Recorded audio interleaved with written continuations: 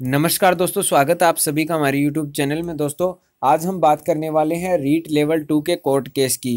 तो इसके अंदर जो डेट ऑफ़ फिलिंग है, वो देख सकते हैं आप, डेट ऑफ़ फिलिंग चेंज हो गई है सात पाँच दो हज़ार अठारह।